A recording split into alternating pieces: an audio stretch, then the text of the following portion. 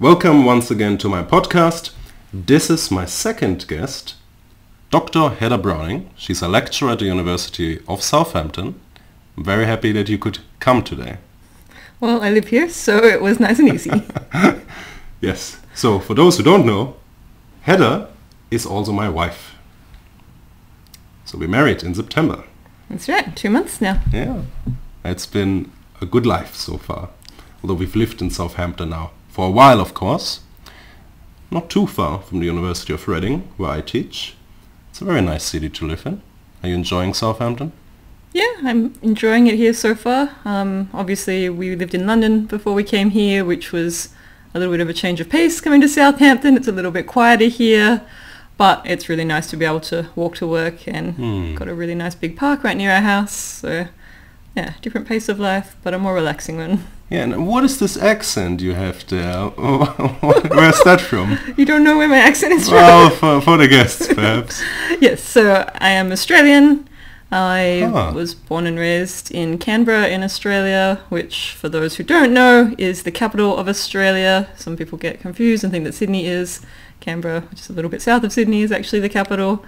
Um, so yes, I was born and raised there and moved over to the UK three years ago, roughly now, um, for a job that I took up and have now settled here um, permanently for this job. Hmm.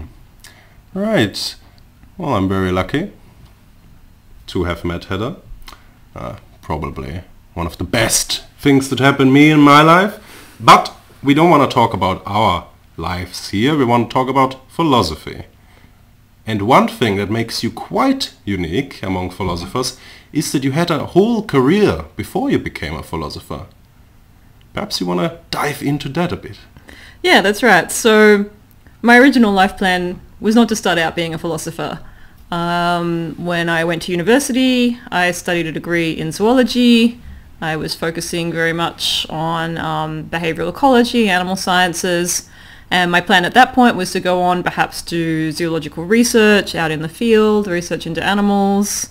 Um, but while I was doing that degree, I started volunteering at the local zoo at the time. So one day my mum came in, she brought a clipping from the newspaper, back when people still got their information out of clippings from the newspaper and not the internet. Um, and it was an ad looking for volunteers at the, the local zoo that had just been taken over by new owners in Canberra. And they wanted people to come and help out. She thought I might be interested. And so I went along and yeah, basically just fell in love with that entire type of work, um, working with animals, spending time out at the zoo. And so when I finished my degree, I moved into doing zookeeping, which I did for a very long time before moving across to philosophy. So how does one become a zookeeper? Is it easy to get into that field? It's not easy at all. So, I mean, zookeeping is very popular. People love it um, for perhaps obvious reasons. You get to spend a lot of time with animals. Um, that's something that people really, really like to do. And so it's a very competitive field. It means that there are many more people who'd like to take up the job than the number of jobs available. So most people who come into it come into it through something like volunteering. So getting experience, work experience, or volunteer experience at a zoo doing that work before they move on to um, paid work and more permanent work in that area. And so that was the pathway that I took. I was a volunteer for several years while I was doing my degree at university and then started applying for jobs. So I picked up some casual work at that same zoo that I was volunteering at. Um, then picked up a temporary contract at a zoo in Adelaide and from there managed to work my way into a permanent contract over in New Zealand and another one in Dubbo, which is a little regional town in Australia, um, before coming back to Canberra again and going back to doing some more of my studies. So yeah, usually people who want to get into the field have to move around a bit. You've got to be willing to move because there are sort of fewer jobs and there's you know, you've got to go where the jobs are. So in that way, I think it might be quite similar to academia, which has a similar sort of structure that, you know, it can be quite difficult to get your first job in there and usually people have to move as well. Did you have a favorite zoo that you worked at? It's hard to say. I mean, I liked them all for different reasons, I think. So, you know, certainly some of the zoos I worked at were smaller private zoos. Um, some of them were larger government owned and they've got different pros and cons. So I guess working at the smaller zoos, you have the advantage that usually have a bit more control over what you're able to do um, and perhaps a larger variety of the kinds of jobs that are expected of you because there are fewer staff there and everyone takes on more roles and there are perhaps less bureaucracy in place to take on new initiatives that you want to do. Um, the larger government-owned zoos have the advantage, I guess, of having more resources behind them. So there's more staff. You perhaps have a bit more free time to get in and do some of the projects, like um, you know, animal training and things like that. So, and yeah, more support, I guess, for, for programs such as going overseas. So um, Auckland Zoo, for instance, had really nice keeper exchange programs where they could send you overseas to work with conservation projects. So I think, yeah, there are those kinds of differences you see in different places. Now, did you have a favorite animal that you worked with? Or perhaps species, rather? Yeah, that's right. I don't want to pick a single favorite animal. That feels really unfair to all of the ones that I loved. Hmm. Even picking a single species is hard because, again, you love different ones for different reasons. Um, but one thing, one thing, one one type of animal that I really enjoyed working with that took me by surprise, actually, um, and that I've loved ever since is orangutans. Hmm. So when I started working at Auckland Zoo in New Zealand, I was put on the primate section there. And when they told me I was going to be trained on working with the orangutans, I, you know, I was happy to do it, but I wasn't excited in any particular way. But after working with them for a little while, I came to realize just sort of how interesting they are and like what cool cool animals because they have this mind that's I guess slower than the mind of other great apes like a chimpanzee for for instance. The orangutan sits and watches and they think things over. Um, people who talk about them often say they have a mind that's more of a lateral thinking kind of mind. And you can certainly see they just sit and they watch what's happening. They think through all these different options. They observe the people and the way they go about things. And I think then, you know, through that come up with their own sort of ideas and solutions for different problems or different things that they might want to do. Oh, that's quite interesting. So when you perhaps were puzzled by some of their behaviors, did it at all raise sort of your philosophical interest in the question of animal minds at all? I guess at that point, I think only peripherally. So, you know, I just wasn't familiar with the sort of philosophy of animal minds, and so I found it really interesting to be working with the animals and thinking about, you know, what are they thinking about, how are they thinking. But I think it wasn't until later when I went into, you know, back into studying and studying philosophy hmm. that I started thinking about particularly orangutans through the lens of what I was learning. So originally when I went in to do my PhD, the project that I wanted to do was actually a project on orangutan minds. And so I was really interested, like I said, to me they seem to have this ability to think laterally in a sort of perhaps a different way than other great apes did. And to me, strikingly, it seemed perhaps a more human-like way of thinking. So, yeah. So you say they think laterally. Could you explain that more? Yeah, so perhaps one sort of famous, perhaps um, not true, but perhaps illustrative example is um, a story about a cognitive test that was set up for some different types of apes to solve.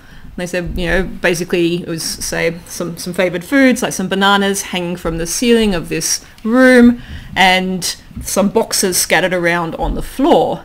And so when a chimpanzee gets let in there, they can sort of look around, see what's happening, and eventually stack up the boxes so they can hmm. climb up and reach the bananas. But, so the story goes, when the orangutan went into the same room, it looks around, looks at everything, looks up at the bananas it can't reach, and walks over to the human experimenter, grabs their hand, pulls them across, and points at the bananas that it wants them to take down. And the idea here is that they're yeah, you know, thinking of a different way to solve the problem, perhaps than the most obvious logical one. Right, and you say that's a fake story. I'm not sure. I've heard it told. I haven't had it confirmed. I see. Perhaps we take a more careful approach here. sort of just anecdote. Hmm. Yeah, so that's right. So yeah, I'm not sure, but you know, in general, orangutans do have that kind of property that they are the kind of animals that seem like they would take that sort of approach. And certainly they like to imitate humans as well, which is something also that can be seen in some of the areas where there are rehabilitant orangutans that, you know, they they watch what people are doing and try and imitate their behaviors um, and learning to do things, you know, like rowing boats out on the water, um, trying to hammer with Really? nails. Um, so all these sorts of things. And I could see that with some of the orangutans I worked with. So one of them had been hand raised. She'd come to us. Um, she was an ex-pet that had come from Europe. um, and had come to the zoo and she still had some of those behaviours that she'd obviously picked up when she worked with people. And so one of the things she really liked to do is if we put a scrubbing brush in her enclosure with a little bowl of water, is that she'd go around and try and scrub all the different surfaces. oh, that's fascinating. You must have had yeah, a lot of experiences with orangutans, I guess, that suggest that they're quite intelligent. Do you have other examples? Yeah, I mean, certainly, I don't think anyone questions they're quite intelligent, but I was still surprised at different times. So, you know, um, one of the things that we do with the orangutans is we'd give them um, enrichment devices, so different toys and things for them to, say, extract their food from that would take them longer. Um, but we have to be careful because orangutans are very large and very strong.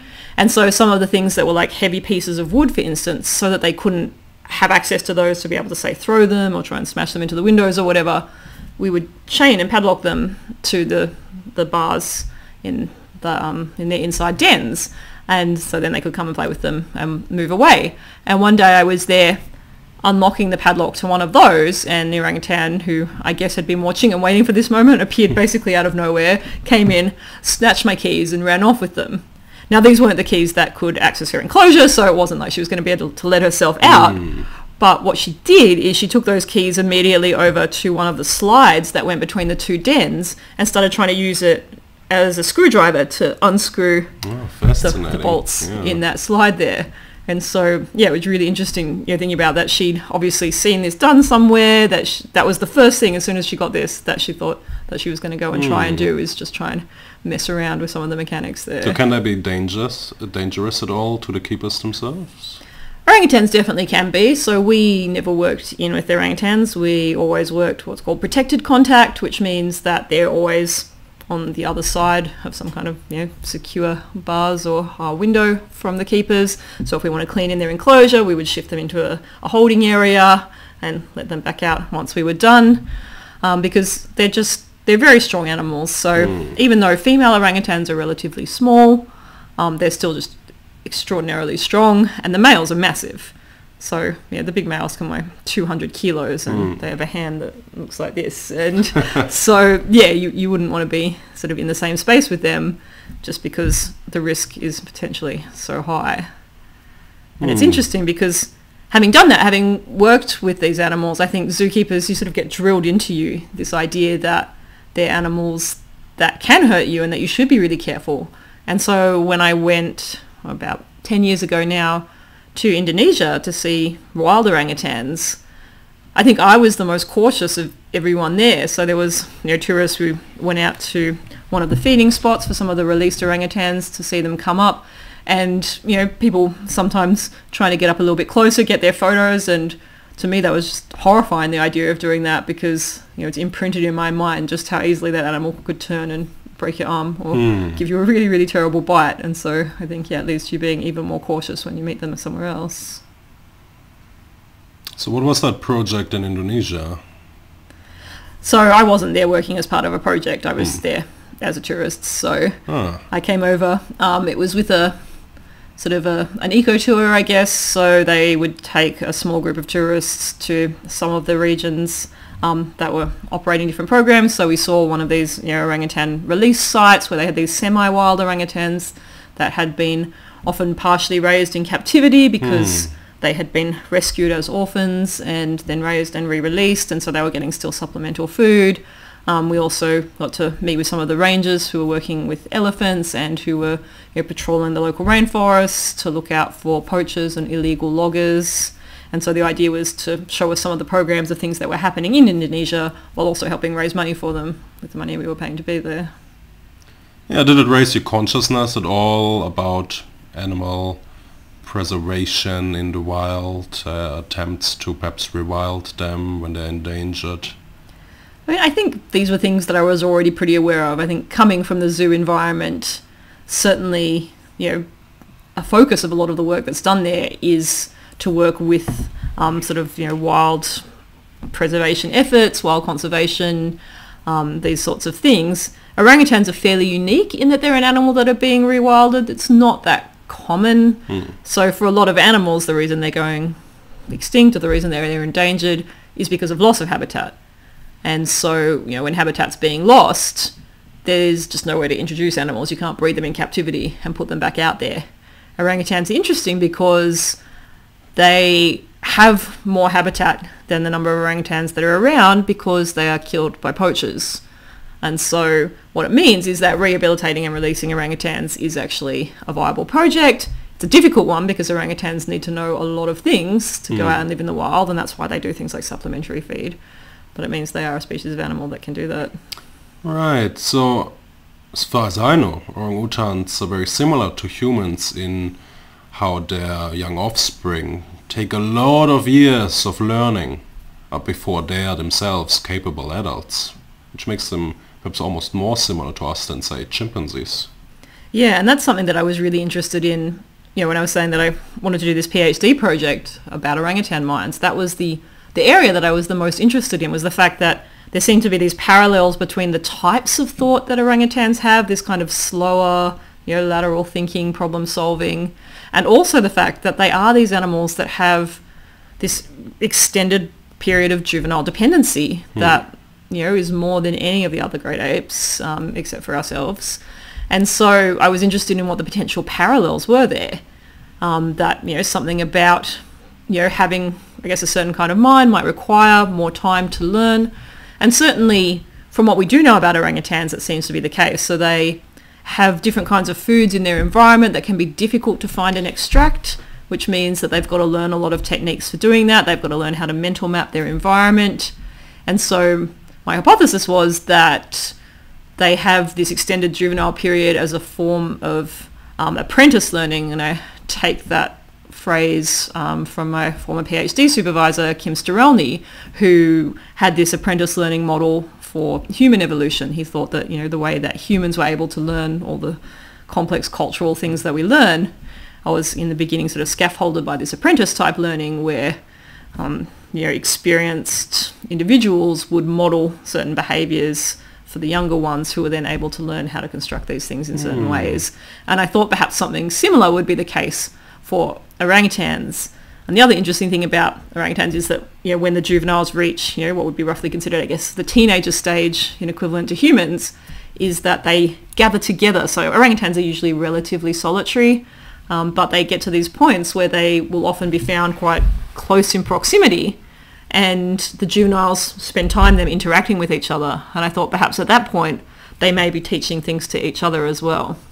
Um, in the end, the reason I didn't pursue this project is because there's not enough empirical data about what actually happens out in the wild with orangutans because they live up in the canopy. So, you know, chimpanzees and gorillas have been relatively well studied because they live mostly on the ground and people can go and follow them and watch them.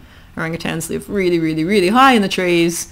It's almost impossible for a person to see what they're doing most of the time. And so we just don't really know if they're doing these sorts of things that I think they might be my hope is that now with improvements in drone technology and these sorts of hmm. things, we might be able to learn some of these things in the future. And yeah, I'd like to revisit some of these projects, but I think I myself am not someone who's going to be going out, going into the field. So I've just got to hope that someone else does that, and then I can look at their data and think about what it means. It would be interesting to go onto a field site perhaps in the future if we get invited to something like this. I mean, you got this invite to visit the Apopo team in Tanzania that trains rats to find bombs, right? And I also got an invite to give a smaller talk. You gave a keynote. That was quite uh, interesting. Perhaps you can tell us a bit about that project. Yeah, so one of the nice things about working in animal welfare is the fact that it creates potential opportunities to go and do cool things where you meet animals. And so last year, yeah, yeah, 2022, um, I got invited to go over for a conference that was being run in Tanzania by this organization, Apopo, who trains what they call hero rats, who are trained to sniff out landmines um, in areas where residual landmines have been left behind, and also to sniff out tuberculosis in samples from patients. And so, as well as you know, attending this conference, which was a conference both on the training of scent detection animals and of animal welfare more generally, we got the chance to go and see the work that was being done there, um, to see these rats being trained, going out in their little field sites and finding with you know a really high degree of accuracy, very impressively, um, buried pieces of landmines and also within the laboratory setting looking for um, tuberculosis in samples as well. And we got to see you know, how these rats were being housed, the kinds of you know, enrichment and welfare enhancing opportunities they were trying to give to them and you know, talk to them a little bit about those things as well. And I suppose typically people wouldn't think of rats as being able to be trained just like dogs. So when we saw rats literally following other humans, their trainers without needing anything um, like a lion to which they're attached, really a rope or anything like that, they would just follow their feet. It was quite impressive, wasn't it? Yeah, I think yeah, rats get, and so you know, these were, were giant pouched rats. They're not just the standard sort of rat, um, laboratory rat or Hmm. you know, sort of house rat that people might be used to, but obviously a similar kind of animal. And people just underestimate them. I think perhaps because rats can be pests in human contexts, and we tend to have that aversion because of it. People don't think too much about them, but they're actually very social and very intelligent little animals.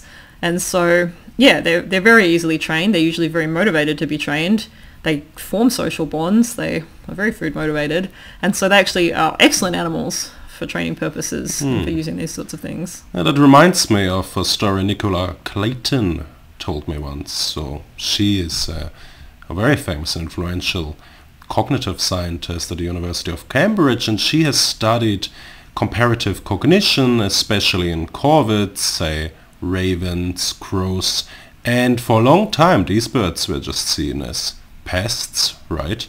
But really now we know how smart these birds really are, so perhaps there's a similar story to be told here for rats. Yeah, I think that's right. I mean, certainly we see humans have biases towards and against certain types of animals, and so the ones that we perhaps like more, that we spend more time with, the ones that have faces that, you know, light up our cuteness centers or whatever it is, people are much more well disposed towards than animals that we tend to have, you know, I guess agonistic, um, you know, sort of non-friendly interactions with out in the world that, you know, are pests and do interfere with different things that we're trying to do are the ones that we look worse on. And there just seems to be this phenomenon where people will attribute less intelligence and less capabilities to animals that they have a sort of a more negative view towards. And I think that goes the other way too, where people where people think an animal is less intelligent, they'll form a more negative view of it as mm-hmm. well. And so, you know, I think sheep can be a really good example of that. You know, sheep have this sort of folk wisdom that they're not very clever animals, and I think people feel a little bit of almost like contempt towards them sometimes hmm. because of that. But sheep are actually, you know, much more clever than people would think, and you know, they're quite social animals as well. Like there's a lot of things about them. They feel a lot of things that don't get taken into consideration sometimes because of that.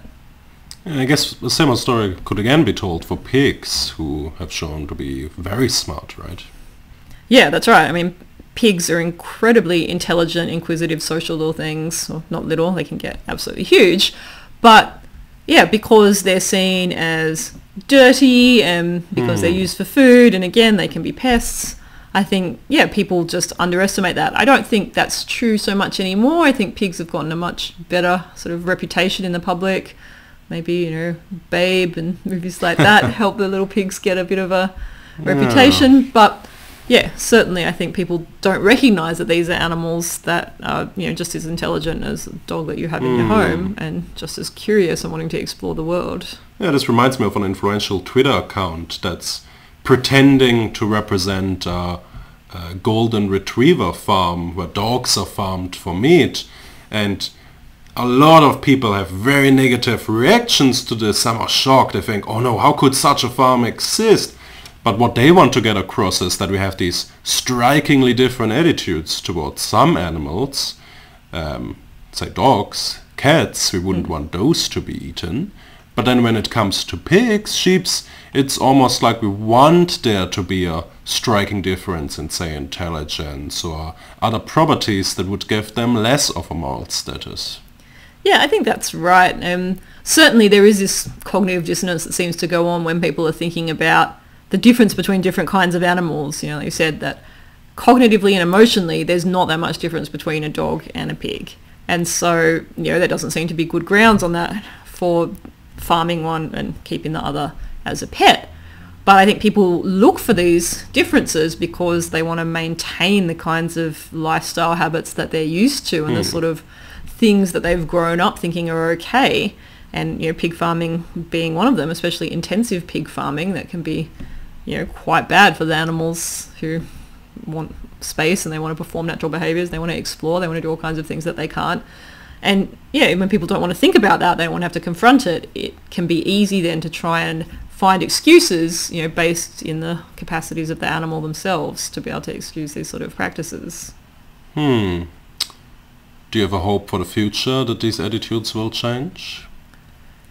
Yes, um, I think I'm relatively optimistic about this. I mean, maybe not completely optimistic, but I think there is a shift that we're seeing already. I think, you know, the attitudes that people have are different than what they had several decades ago. I think people are more aware of what's going on and they're more aware of the, the types of animals. Hmm. So one thing that I guess perhaps adds to this optimism is a project I was involved in fairly recently, which was um, a report. So a team that was led by Jonathan Birch that I was a part of was writing up a report for the UK government about the sentience of cephalopod mollusks, so that's sort of octopuses, squids and cuttlefish, and decapod crustaceans, which is um, crabs, lobsters and shrimp, and looking at, you know, if these are sentient animals that have the capacity to feel.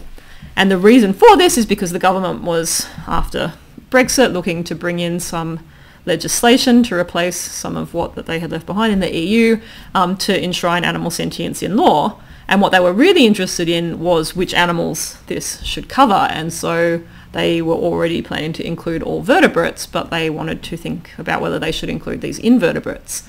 And so we did a big review of a whole lot of evidence, sort of, you know, over 300 different scientific studies on the capacities of these animals that we ranked against some criteria that we thought were relevant to sentience and came to the conclusion that based on that evidence, you know, there was enough there to treat these animals as sentient for the purposes of law, even if it wasn't a definitive proof that they were. Certainly there was a promising enough picture there that meant that they deserved protections. And perhaps surprisingly, uh, the government listened to these recommendations and did add those animals to their legislation. But I think what was more interesting is the fact that when these results came out, the general public were really on board with it. I thought that some of the media coverage might be quite negative, you know, oh, they're trying to tell us that lobsters can feel mm. pain, you know, that people would be incredulous about this. And people just weren't. They were, you know, almost exclusively right on board. And it seemed like most people were quite happy to accept that these animals that are very different from ourselves do have the capacity for these kinds of feelings. And so if that's the case, then yeah, my hope is that the attitudes we have towards the animals that are even more like ourselves are perhaps shifting in that way as well. So you, you talked quite a bit about sentience and the capacity to feel. Now, for those listeners who are perhaps not part of these philosophical debates, could you define those terms a bit more? Yeah, the big question. Sentience is one of those terms that is excessively difficult to define in a really precise way because it does involve a sort of uh, a conscious sensation, a, a feeling, and it's been very difficult. People have not succeeded at all in pinning down the words to describe that. So usually the best way that we can do it is to try and point at examples of these kind of, you know, conscious feelings. And some people would call this phenomenal consciousness. So, you know, the, the fact that there's something that it's like to have an experience. So, you know, for instance, if I press on my arm, I feel that. There's something that it's like to feel that. If I press on the table, we don't think that there's something that it's like for the table to feel that. And the difference here, you know, what is the difference between the table and me and having that feeling? That is sentience. And so, you know, what we have in common between, you know, smelling a fresh cooked lasagna or looking at the redness of a rose, feeling this pressure, all of those things seem to have something in common in that they are a felt experience. And sentience then is the capacity for these felt experiences. So do you use it equivalently to consciousness? I do, yeah. Um, I tend to stay away from the word consciousness and prefer the term sentience just because consciousness comes with a lot of baggage. So people think of consciousness in so many different ways. Um, some some people just think of it in this basic capacity to feel. Some people build in a lot of stuff, you know, because in humans, consciousness is associated with a lot of extra things, and they can be things like a sense of self, you know, self-awareness, a narrative that we have about ourselves, memories of the past, plans for our future, all of these things coming together and can require quite a lot of higher cognitive functions. And the worry is that when we're speaking about consciousness, people are often building in all these things when they hear the word consciousness mentioned, where sentience perhaps strips that away and allows people to think more about this basic capacity to feel. And I think then they're more likely to think about, you know, which animals can be sentient and perhaps think that simpler animals can be, where if you use the word consciousness, there might be some resistance to that. Hmm. But yeah, I do think I, I use the terms interchangeably when I'm doing them in my work. But yeah, I just think sentience is perhaps a little bit simpler for that reason. I certainly noticed it with my own students, where this term I taught philosophy of mind, and the way the students thought about consciousness was a kind of rich sense of self-awareness, a sense of self, perhaps a kind of recognition of yourself in a mirror. It's assumed that other animals might not have this, but it's yeah seen as something quite distinct from something like a basic capacity to have any feelings. Yeah, that's right. And certainly, you know, the thing that we care about, or the thing that I care about when I'm thinking about animals and animal welfare, is that basic capacity for feeling. So, you know, this is not a, a new way to think about it, but the idea that, you know, if an animal has a capacity to suffer, has a capacity to feel pains, it has the capacity to feel pleasures of different kinds, then that's enough for us to care about it morally. That's enough for it to have welfare that can be harmed, and that's enough to make it matter. And so, you know, all these extra higher order aspects of consciousness that we might build in might matter for other reasons. You know, they might speak to the kinds of interests an animal can have, but I don't think they in themselves hmm. constitute the moral value of that animal. Right. So then the question of course seems to be if this welfare matters for animals and presumably we all think it does. It's almost like welfare is defined as something we should care about regardless of perhaps what our moral views would be. Um, very few would think we should try to maximize pain in the world after all. But if this welfare is categorized in a conscious way, right? It's about this, the feelings of animals. How can we try to assess these in other animals that seem so different from us?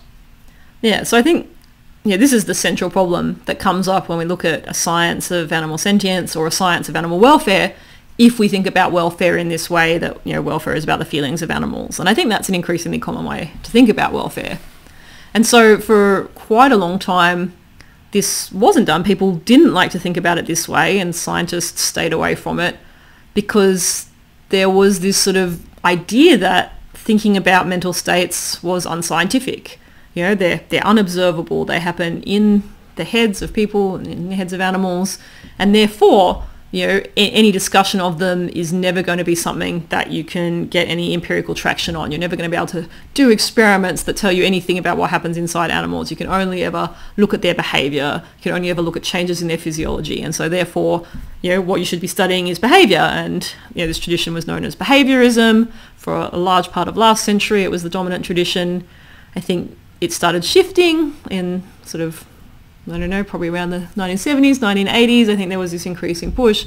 Um, that's when animal welfare science started taking hold as a discipline. And from there, I think increasingly people have started to think that it is a valid object of scientific study, but perhaps in a different way than people are used to. So when you think about something like consciousness, animal feelings, you know, what you're talking about is not direct observation. Yes, we're not looking directly at consciousness, but what we can be doing is we can be looking at the effects of consciousness in the world.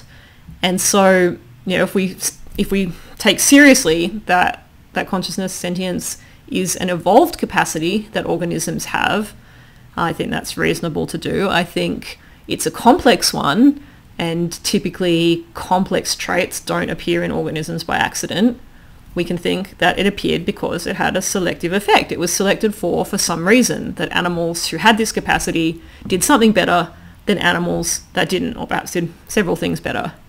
And if we think that, and we think that it must have been available to selection in this way, which means that, you know, it caused some difference in the behavior or the physiology of the organism that allowed this selection to even take place.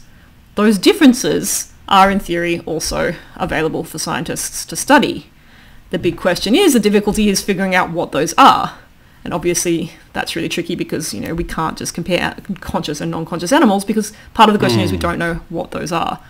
But what we can do is we can use we can use theories, we can use different kinds of indicators, so we can use you know, theories about the changes in behavior, different theories about the changes in physiology, and bring those together to get a science that at least can make inferences about consciousness.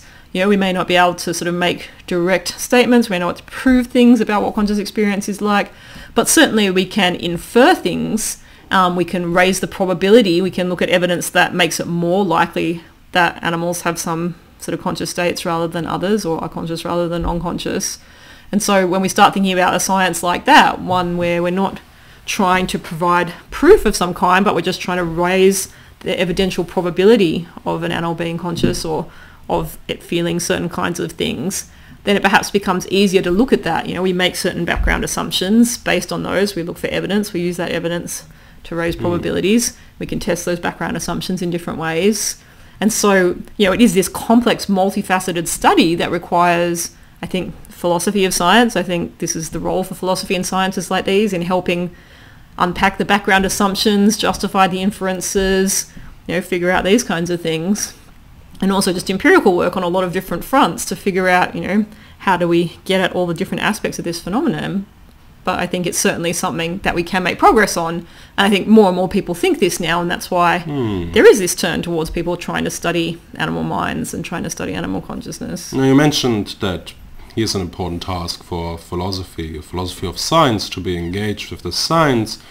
Many listeners, though, might not really know what a philosophy of science is about. Many think of philosophy as something you do in an armchair, you write a monograph about some topic and you don't really draw on that much empirical data, but you really want to impact the science and engage with scientists, right? Yeah, that's right. I mean, philosophy covers a huge range of different activities and different subject areas, and so it's very difficult to say, you know, what philosophy is in a definitive sense. But I think philosophy has particular kinds of tools and methods available that can be really useful in these. And so we're thinking, you know, philosophers are really good at, you know, analyzing concepts, looking at what are the concepts we're using and what are the different ways in which those concepts can be applied, what are the distinctions between related concepts, you know, identifying, like I said, identifying the background assumptions that go in, you know, looking at whether inferences made between sort of evidence and conclusions are valid inferences. These are things that philosophers have been trained to do quite well. And so I think alongside scientists can help make progress on these kinds of questions. And so this is sometimes described as philosophy in science mm. rather than philosophy of science in that, you know, we're not just talking about science in general, but we're sort of getting down with the scientists in this case and really thinking through with them, you know, how to do what they're trying to do better and how to justify what they're doing um, and strengthen the sort of the concepts and the methodology. Mm. And so that's, you know, what I see myself as doing with animal welfare science is that, you know, I'm really interested in the way animal welfare scientists practice their discipline, the way that they're measuring the welfare of animals, and interested in how they can continue to do this and improve doing it.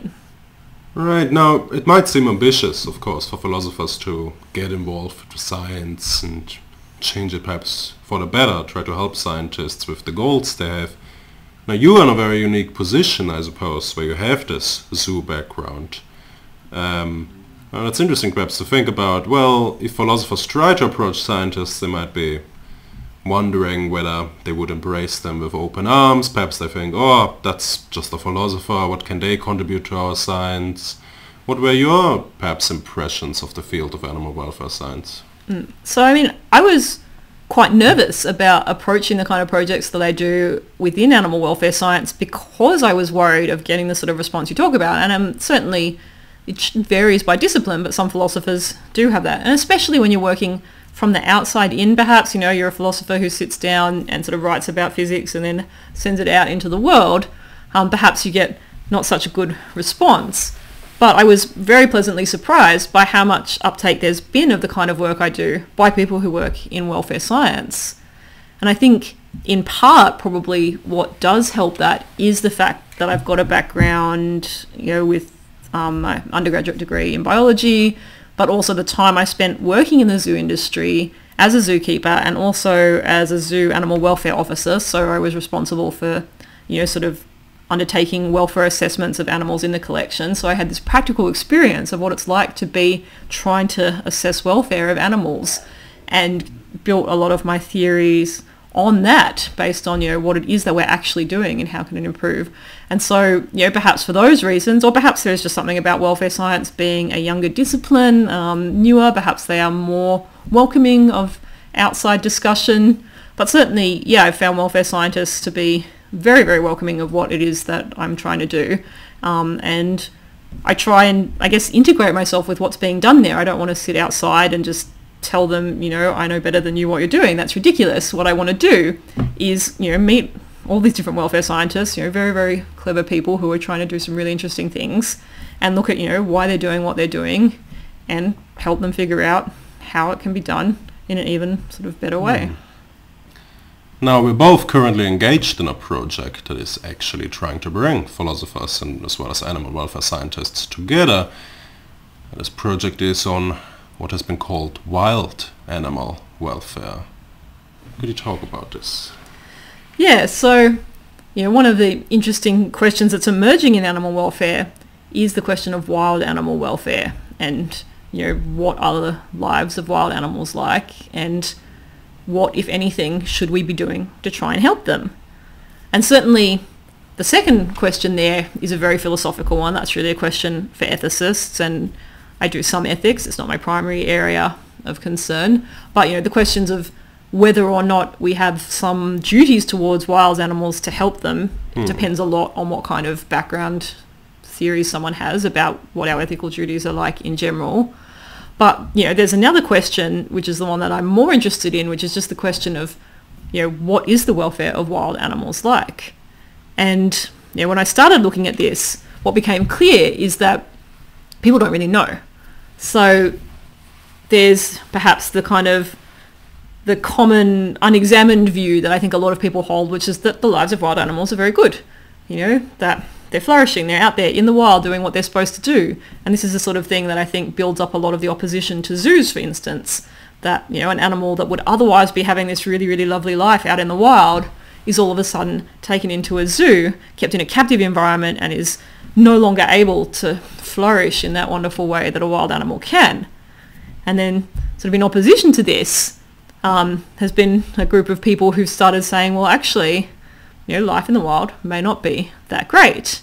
And, you know, this idea here is that, well, look, wild animals face a huge amount of risks to their lives, to their welfare, you know, diseases and starvation, things are hard, they get eaten by predators, they face natural disasters, all kinds of things. And if that's the case, perhaps the lives of wild animals are bad. You know, some people would say that the lives of all wild animals on average are net negative and they contain more negative welfare than positive welfare. And so, you know, interested in this question, um, I started putting down some ideas, which we then developed together and wrote a paper about, you know, we called positive wild animal welfare, which was sort of making the opposing case, but again, just from a theoretical standpoint, saying, well, look, you know, based on the theory of animal welfare, perhaps there are reasons to believe that wild animals have more positive opportunities than the pessimistic picture would think. You know, they're able to engage in all kinds of positively mm. valence behaviors and activities. You know, eating food they like feels good, exercising their agency feels good, interacting with social companions feels good. You know, being eaten by a predator might be bad at the time, but it's a very short part of a total lifespan, so perhaps it doesn't impact mm. lifetime welfare that much. And so based on all that, saying, well, look, you know, if we just look at the theory of welfare and, you know, ecology, we can come up with any answer really. We can you know say that it's very bad, say that it's very good, and the bigger conclusion here was that this isn't a question that we can make much more progress on in the theory.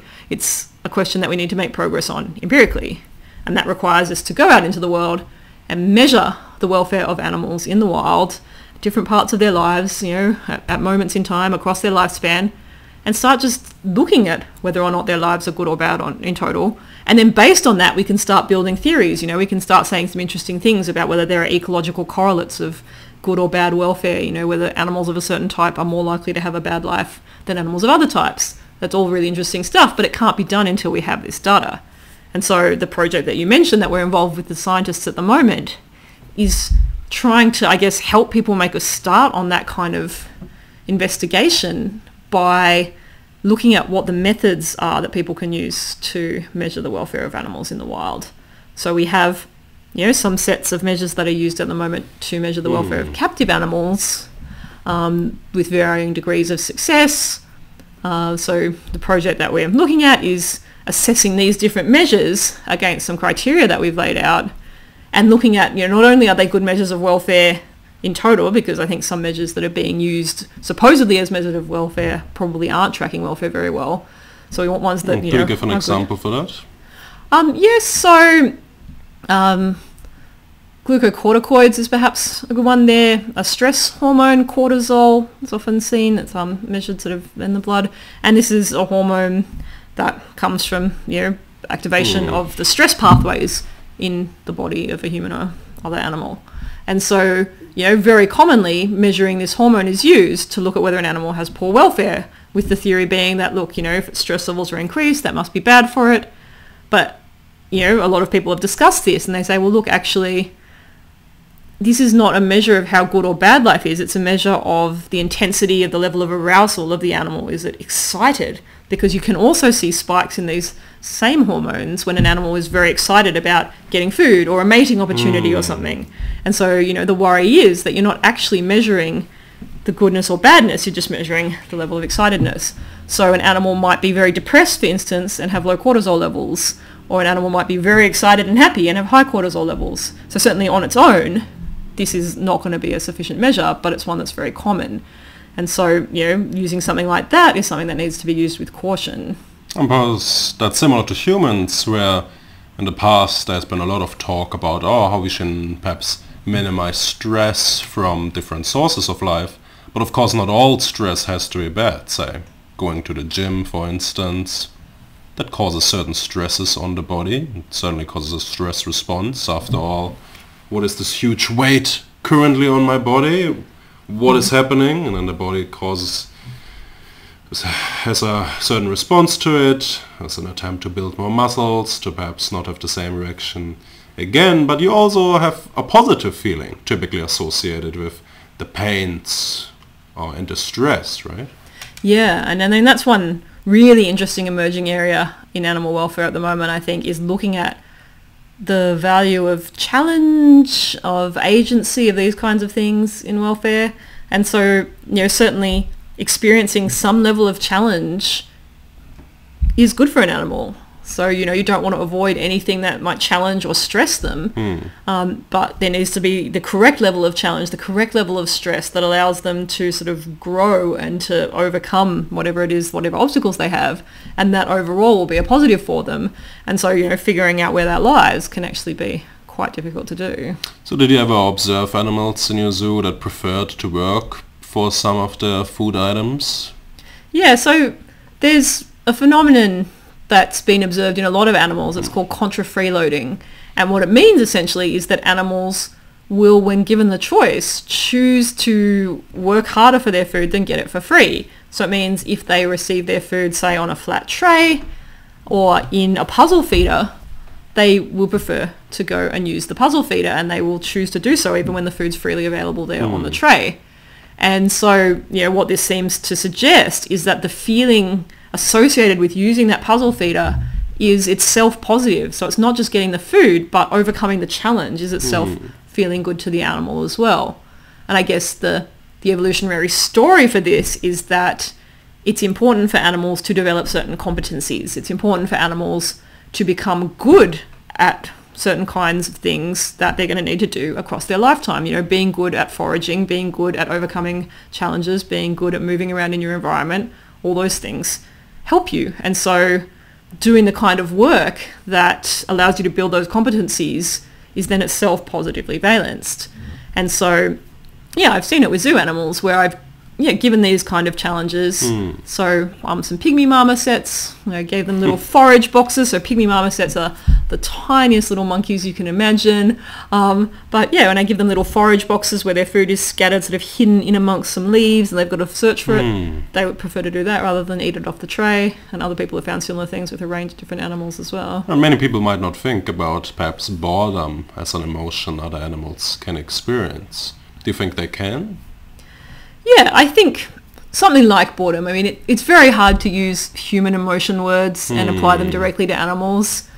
And you get stuck in this kind of difficult place where you don't want to overuse human emotion words with all the sort of Right. things that are built into that, all the assumptions that are built in. But you don't want to underuse them either. You don't want to assume that animals are like crazy different from us in such a way they can never experience the same things we do. But certainly I think something like a negative feeling that comes from being understimulated um, is definitely something you seem to see in animals. I mean, animals who have environments that don't allow them to do much of anything, don't allow them to explore, don't allow them to engage, yeah, show all kinds of signs of negative welfare.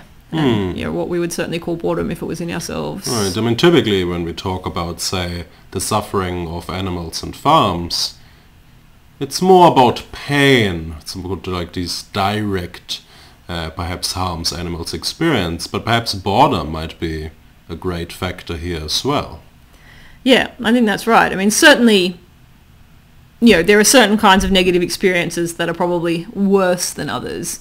You know, so if I was given the choice of experiencing a lot of pain or experiencing some amount of boredom, hmm. I would typically choose the boredom over the pain. But that's not even entirely true. So humans will in some cases choose to give themselves an electric shock hmm. rather than just sit and do nothing.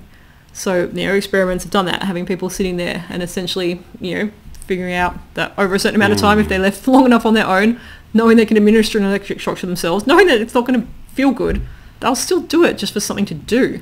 And so, you know, given that, you know, people, animals will be willing to, you know, essentially, yeah, do something that feels bad just because it feels better than nothing is very strong evidence, I think, that a feeling of boredom and not having something to do is really, really not good.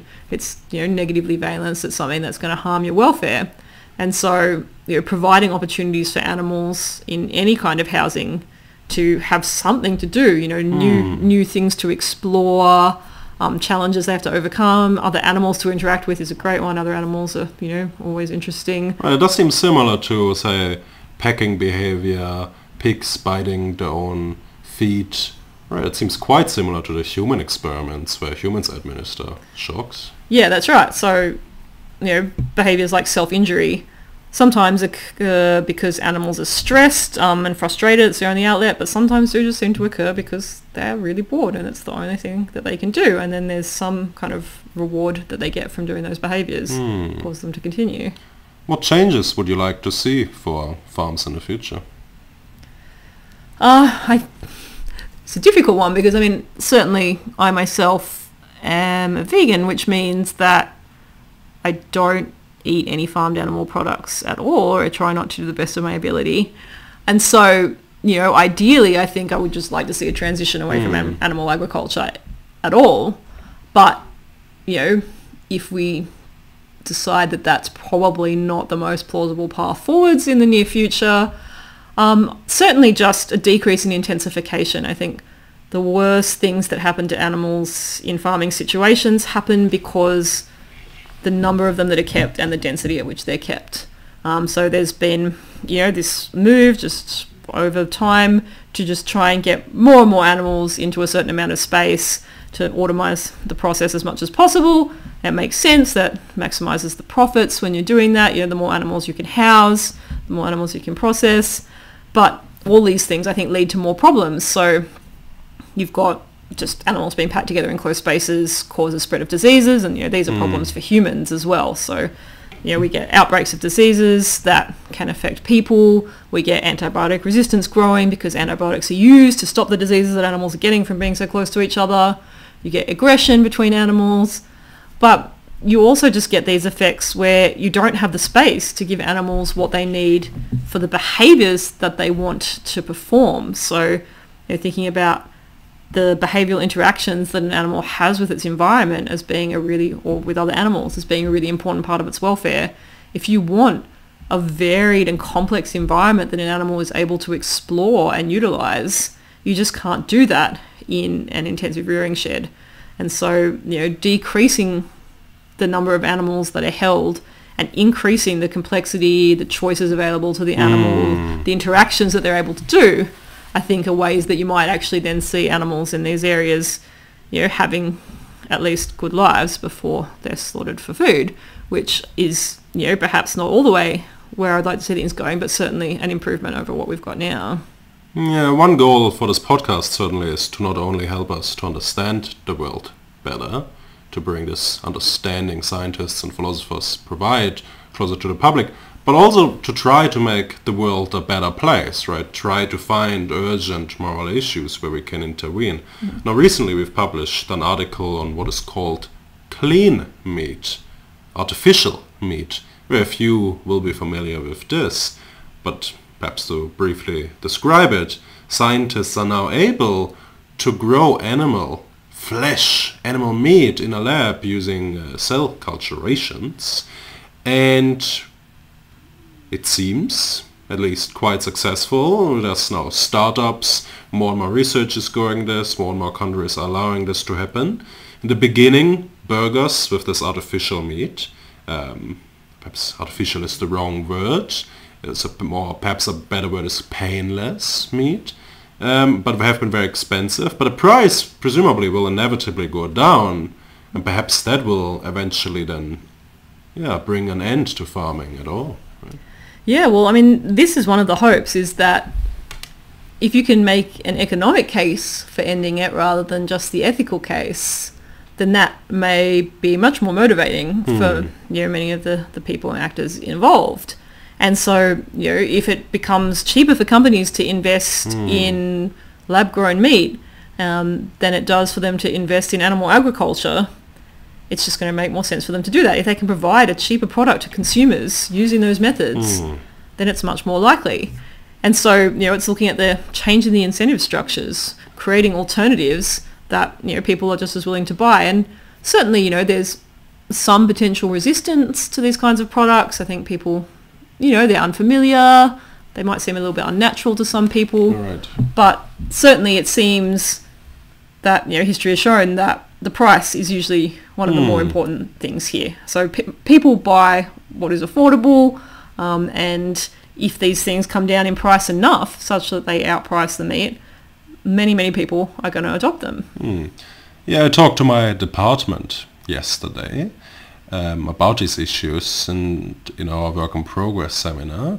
And some seem to have quite a vivid reaction to this idea of clean meat, a kind of yuck response, disgust. But as we outline in the paper, this can probably be overcome and as others perhaps in our inner circles, our friends, family might start to adopt these types of food, this disgust response might disappear, similar to how uh, in the West uh, many people have this vivid disgust reaction to, say, eating insects, right? But then it's common in Asian countries, for instance. Yeah, that's right. So I mean, disgust responses often just come from lack of familiarity. And so I think when you see, yeah, if you go to a restaurant and there are people around you ordering this kind of meat, even if it wasn't something that you yourself would previously have thought, you know, if it's on the plate of the person in front of you and they're just eating as though it's fine, that's going to condition you to feel like it's a fine thing for you to order as well. It's not going to seem so weird and disgusting. It does right now because it's very unusual. It's very foreign to most people. But I think, yeah, the more common it becomes, you know, certainly there's a lot of evidence that people's behaviours are very strongly influenced by the social culture they find themselves in and what is considered normal for the social groups that they're in. And so as these things become more common, I think the people who have those sort of responses are just going to find that they don't have them as strongly and it's not going to be such a barrier to adoption. Hmm. Yeah, I suppose once we have that type of meat really being available in, say, the UK and the US, question you might raise is we could just get rid, for instance, of subsidies for the meat industry. Part of the motivation is, of course, for the general population to yeah be able to afford meat. For many, meat is still something like a luxury product. In countries like China, for instance, um, when the general standards of living went up, people had more money to spend on household goods and the like. A lot of people started to consume a lot of meat because in the past it has been associated as this luxury product, right? But once we have this artificial meat available, we could really get rid of these subsidies, after all. Then we might think, well, these are just supporting a particular type of meat that not only is perhaps problematic for environmental reasons, right, um, in, has a terrible effect on climate change, uh, but here also just the suffering of animals could be eliminated in favor of this kind of painless meat in a lab. Yeah, that's right. And so one of the concerns here obviously is transitioning farmers. Hmm. So, you know, we talk about subsidies. Subsidies are used, like you said, to help make sure that the population is fed, they get the range of nutrients they need, and especially protein. But it's also to make sure that people who are working in farms, you know, are able to continue to do so and to continue to provide food. And so, you know, one of the steps involved in transitioning away from so much animal agriculture is providing viable methods for farmers to transition from themselves from keeping animals to keeping to um, growing crops of some kind. And so providing you know both the expertise needed to transition and sort of you know financial benefits or um, support for farmers who want to do those things I think is a really important part as well you don't want to just sort of flip to clean meat which has suddenly got an entirely different body of workers who are able to to work on that and leaving people who are currently farming without anything to sort of use their skills for and their, their land for. But it's about, you know, supporting these transitions and making sure that they can still make a viable living doing something else. Yeah, I suppose we have this uh, great societal responsibility perhaps to make these changes happen in a way that don't cause yeah, perhaps major disruptions, right, to the economy, to workers. Similarly, as opposed to AI, right? A lot of jobs in the futures might be replaced to some extent by AI, right? Um, it might be much cheaper to use to invest into a particular AI app developed by some companies um, rather than say outsource that perhaps to a different country. AI might make this so much cheaper than hiring humans. And again, we have to think about the future of work here. Yes, I mean, that, that brings up a whole lot of complex stuff that you know, it's well beyond what I've ever thought about. But the idea that, you know, what it means to work and what it means to, you know, produce something for a society changes so dramatically if all of that can be done artificially. Um, and certainly, you know, we've got a history so far of automation not going particularly well for people. So, you know, the promise would be that the more automation we have, the more machines do, the less humans have to do, the more free time we should all have. And that certainly has not been the case so far. But, you know, with sort of perhaps a, a more radical rethinking of the way that we approach work and the way that we approach you know, the way people contribute to society and the way they get to share the benefits of the work that's being done by machines and artificial systems, I think certainly, you know, there are pathways towards that being a better future for people. Yeah, quite a few people in the AI industry, I don't know, Sam Altman perhaps said, um, OpenAI, I think have argued that in the future we'll need something like um, a universal basic income to be able to yeah, provide for people who can no longer work in the industry they've worked in their entire life, right? So that might cause major disruptions. Um, but perhaps to not stay on this topic for too long, one question we've worked on a bit recently has been this question of AI sentience, right? With um, large language models like ChatGPT almost seeming like you're talking to a human. Some engineers have even claimed that these large language models might develop sentience.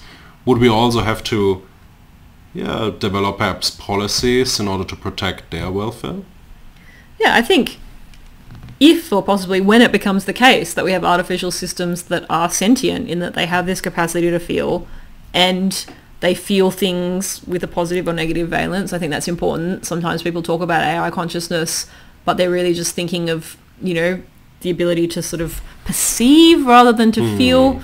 But, you know, if all you're sort of doing is seeing and hearing, that's not really a welfare issue. There needs to be this positive or negative, you know, pleasures and pains kind of aspect to it. But, you know, if that does come about, then absolutely this is something we should be sort of morally concerned with. If we suddenly have the capacity to make artificial systems feel bad, then that's something that we should be avoiding doing.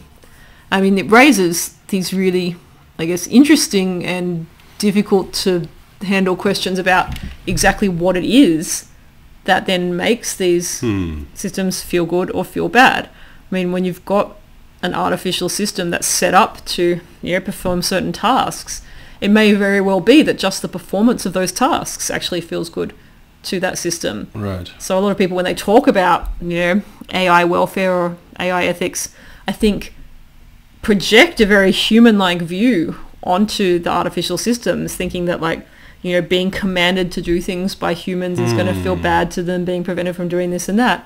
It's just not entirely clear that that's what would be like. I mean, it's very unclear what it would be like to be one of these systems at all. But certainly, you know, if they're set up such that certain tasks are rewarding and certain ones aren't, then you know, just giving them more of the rewarding tasks to do might actually be a really good way of hmm. making sure they have good welfare.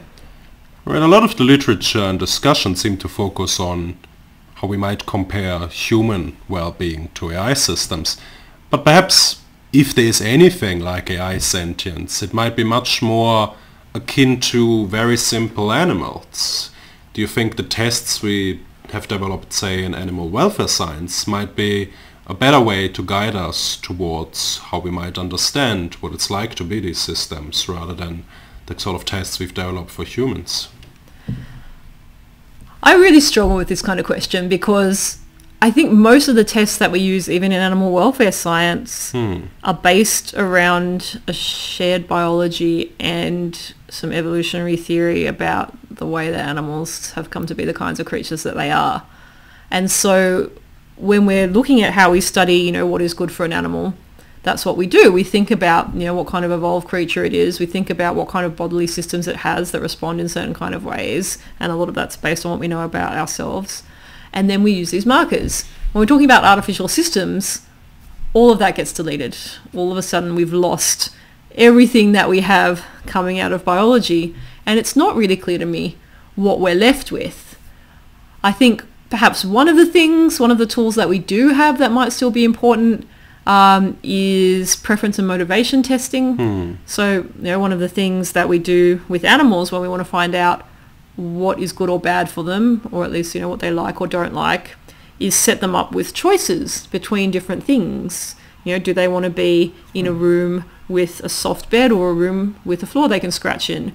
You know, which of these two things is more important to them? And even more than that, you can look at how hard will they work to get access to that. You know, how hard would they work to avoid something that might be negative to them, such as a loud noise? And you can start from that, building up a picture of the things they don't like and don't like. And from that, infer that these are things that make them feel good or make them feel bad. And perhaps for machines, you could set things up in similar sorts of ways, um, you know, such that they're able to make choices and you can look at what choices they make. And if you run the background assumption that choice is going to follow or um, is going to cause certain positive and negative feelings of different kinds, then you might have reason to think that the things they choose are the things that are going to be good for them. All else being equal, obviously humans and animals make choices that aren't in the long run necessarily good for them, but it's a pretty decent heuristic. And so, yeah, maybe for the case of AIs, we could do something similar. Well, Heather, we've discussed a lot of topics today, so perhaps to end with one final question. What would be perhaps a kind of cause priority area if you think about, mm-hmm. say, the greatest kinds of suffering at the moment? Many people think AI will be a major factor here. Perhaps what would be your view on this? What is the area we should focus on at the moment, or where do you see yourself and where, where you can see your contribution in making the world a better place? No, I think those possibly two very different questions, but I mean, I think they're linked in that I tend to want to do my work where I think that there is the greatest need for change or for knowledge or for improvements. Um, so AI, I can certainly see what people are saying when they think this is a really important cause area. To me, it's still based on so many uncertainties that it's not something that I feel easy about, you know, pushing through in. I think, you know, when we look at the animal case, I mean, I'm an animal person, that's where my hmm. greatest concern is, so perhaps there's sort of a bias here that I think it's important because I care about it so much. But I think I also care because, you know, I have reasons to think that it's hmm. important. And so, you know, with animals we know we know that there are just absolutely enormous number of animals, you know, right now mm, that are suffering all kinds of things and that, you know, that is something that we should be concerned about. And if we look at where it is that we're able to perhaps have the most impact, so, you know, there are lots and lots of wild animals. As it stands, we don't know whether their lives are good or bad. We don't know how we might intervene to change them. You know, what we do know is that intensive farming is something that affects lots and lots of animals in very obvious ways that we know a lot about. Um, I think at the moment where we have the most evidence is in intensively farmed chickens. Um, for numbers, there are just more more than any of the other terrestrial vertebrates. Um, chickens outnumber them by just a massive degree, and many many of those chickens, especially um, some of the fast-growing broiler strains, they're bred for meat. They're bred to grow so fast that you know they they are unable to meet their nutritional needs. They feel always hungry. They never feel satisfied. Um, they grow so fast that they're unable to move properly. Sometimes their bones break. All of these things, you know, lot, lots of things that quite obviously lead to suffering. And so I think there are some interventions in that space that are the sort of easier ones. In terms of my own work, I guess I'm interested in, you know, because I think for, for the chickens, there's, we, we know what's going on there. It's more just motivation to change. So I'm interested in, I guess, the frontiers in similar areas that we don't necessarily know so much about. And so here I'm thinking about other kinds of intensive farming, which would include aquaculture. So I said, you know, chickens outnumber the other terrestrial vertebrates, um, fish, fish, um, prawns, all these sorts of things. There's even more of them. Um, and insect farming, which is an emerging area that could be affecting, you know, orders of magnitude more animals again. So I'm interested, I guess, in answering some questions about how important these areas are. You know, specifically insects. You know, are these insects sentient? Can they feel?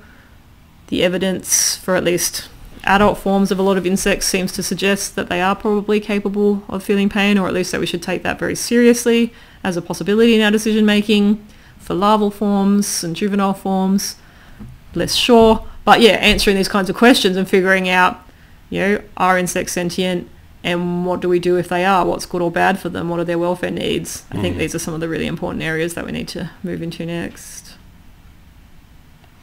I think this is a nice almost call for action, not only for perhaps anyone at home to think about, oh, how can I improve the world, perhaps no longer eat meat. Perhaps insects all could also be a problematic issue if you think they have welfare. But yeah, you have an exciting research program. To be fair, perhaps I'm a bit biased because there's quite a bit of overlap with my own. Um, but yeah, it was great to have you here. Thanks for coming this long way. yeah, that's right, all the way from the other room. well, thank you and thanks to our listeners. yeah, thank you. Um, yeah, I hope you had a great time listening to this podcast and I hope you have a great week. See you soon. Bye.